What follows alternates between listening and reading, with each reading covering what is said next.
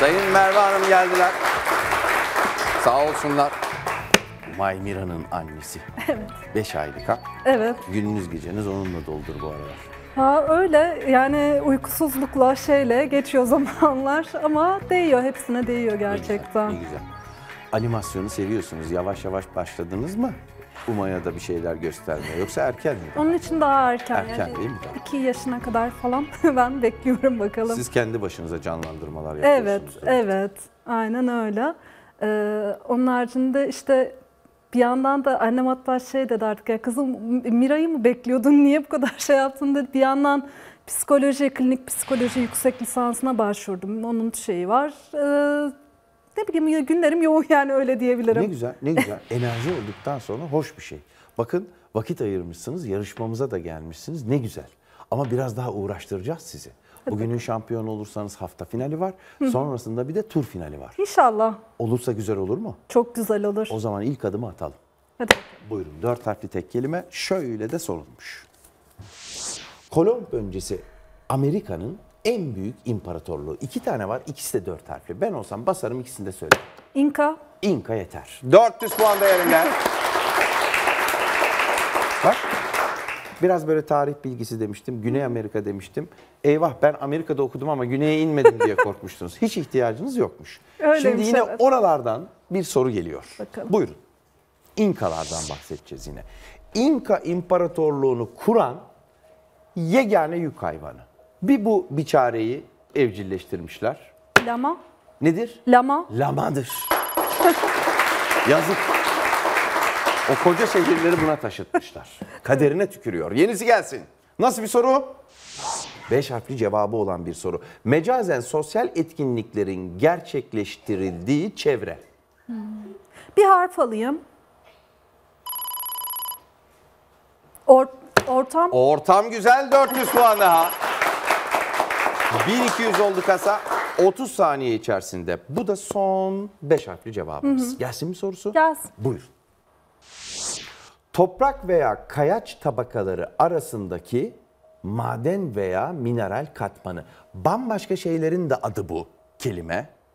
Bir de bu anlama geliyor. Ben bir harf alayım. Almadan bir daha okuyalım mı soruyor Toprak Merve ve Hanım. Karaağaç tabakaları arasındaki. Maden özellikle mesela altın diyelim. Ne buldum Dama, ben? Damar. Altın damarı gayet güzel. Tamam. Elbette sınırlı süremiz var ama bazen bence harf almak yerine bir, Bir daha 10 saniye değil mi harcanabilir. Doğru. Hadi gelsin yenisi. Efendim kelime anlamı ruh hastalığına tutulmuş, belli bir ruh hastalığına tutulmuş olup genel bir hakaret tabiri olarak kullanılan söz. Mesela bazen ruh hastası da hakaret sözü olarak kullanılır. Onun gibi ama bu batı kökenli. Ee, Bir harf alalım. evet bir harf alayım. Hakaret dediniz mi dilimizde çok. Bak psikoloji terimini bile hakaret sözü yapmışız. Öyle dilimin ucunda. Alın bir bir tane harf daha alayım. Aldık evet. bir tane daha ama yeter. Başka almayın. Sen ruh hastasın. Manyak. Manyak 400 puan. Evet, kusura bakmayın yüzünüzde söylemiş gibi olmadı. Rica ederim alışkınım ben. Yenisi gelsin. Şöyle bir soru. Kimyada bileşime giren maddeleri ve oranlarını sembollerle gösteren kısaltmaya ne diyoruz efendim? Aa, kimyayla da aram hiç iyi değil desem. Matematikte de kullanıyoruz bunu biz, fizikte de kullanıyoruz. Denklem Kimyadan yanaştık yalnızca. Bu altı harfli kelime her yerde çıkar karşımıza. Yeter ki sembollerle gösterilen bir kısaltma olsun. Ben bir harf alayım. Su. iyisi. H2O, 2 hidrojen, 1 oksijen. Nedir bu? Suyun nesidir bu? Formül Formülüdür. almasam da olurmuş. Olurdu. Süreye bundan sonra biraz dikkat edelim. Tamam. 2 dakikadan daha azı kaldı elimizde ama merak etmeyin 7 harfli cevaplara da ulaştınız. Buyurun geliyor. Biraz naftalinli bir kelime. Anılar. Bu anlamda eski bir sözcük. Anılar.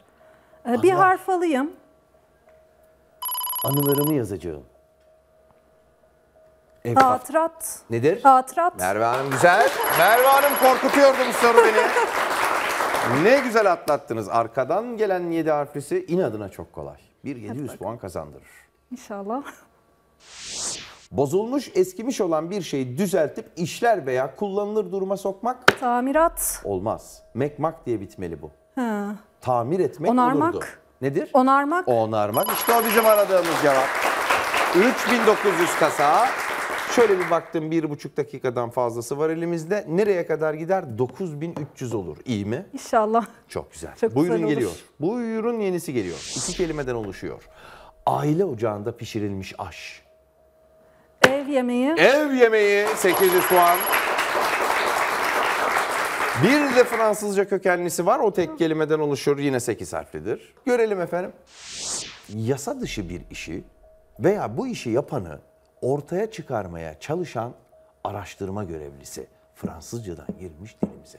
Dedektif. Çok güzel Merve Hanım. Siz bu işi biliyorsunuz. Bir böyle verdiğiniz cevaba kendiniz de şaşırıyormuşsunuz gibi haliniz var. Biraz. Ama maşallah çok güzel geldik buraya kadar. Süreden de korkmuyorum artık. Lütfen herhangi bir şekilde takılırsak bir tanesinde bir dakikadan fazlası var bende değil. Tamam. Buyurun. Devletler arası silahlı mücadelede hukuku ihlal eden her türlü eylem. İki Savaş kelime. suçu. Çok iyi yahu. 900 puan. Bu 9 harfli cevaplarımın zor olanıydı. Bu kolay olanı. Gelsin. Yine iki kelime. Kolay da takılmayalım da. Endamın tamamını yansıtan büyük ölçekli sırlı cam. Boy aynası. Boy aynası efendim 900 puan daha. Esiyor Merve Hanım. Son iki sorusu kaldı geriye. 9300'e 2 kaldı. Evet. Bir dakikadan fazlasını da arttırırsanız 9300 yetmeyecek, 9400'e koşacaklar efendim. Evet. Bunu da hesap edin ne olur. Buyurun 10 harfler. Kişisel ve toplu yarışlar veya beden egzersizleri yapmak için düzenlenmiş kapalı mekan iki kelimedir. Lütfen basit düşünün. Yarışlar veya beden egzersizleri yapmak için düzenlenmiş kapalı mekan. Beden egzersizi yarışma nedir bu? Yani spor sahası diyesim. Ne efendim? Spor sahası. Spor sahası daha çok açık mekanlar için kullanılır. Gelin o ikinciyi bir değiştirelim biz. Spor spor, Spor, kompleks değil. böyle bir Spor salonu. spor salonu. Gayet güzel. 9300 demiştik değil mi? Buyurun efendim. Son soru. Tek kelime Bakalım. batı kökenli. Gayet iyi biliyoruz. Virgülden sonrası kesin olarak bilinmeyen sayılara bu ismi veriyoruz. Ön adı olarak tabii ki. Nokta nokta sayılar diyoruz onlara. Mesela pi sayısı, e sabiti, Evet. Bu neydi? Küsurat. 2'nin karekökü değil mi? 3'ün karekökü. Ben bir harf alsam. desem. Peki alalım ama batı kökenli olduğunu unutmayalım. Bunlar gerçek sayılar ama şey değiller, akılcı değiller Merve Hanım, akılcı değiller. Akıl almıyor bu sayıları mesela pi. Sonsuza kadar gidiyor. Akıl Ben bir harf daha alsam keşke. Aldık bir tane daha. Durdursak mı artık? Bulursunuz. İrrasyonel. İrrasyonel sayılar. Can sıkmaya gerek yok. Sonda Evet. iki tanecik harf aldırdı. Süreyi de gayet güzel kullandınız. 9100. Evet. Demek ki 7 tane harf alma hakları var. Üzerine de 4 saniye arttıracaklar. Evet. Geçebilirler. Bakalım yani e, tanışma fırsatımız oldu. Hepsi çok kaliteli insanlar. Hani Şimdi ne kadar gerçek- kibar konuşuyorsunuz. Niye girerken peki çıtır çıtır yiyeceğim dediniz? Ya ben onu şaka niyetli demiştim. Allah Allah. O zaman Merve Hanım'a şaka değil, ciddi ciddi bir alkış. Teşekkür ederim.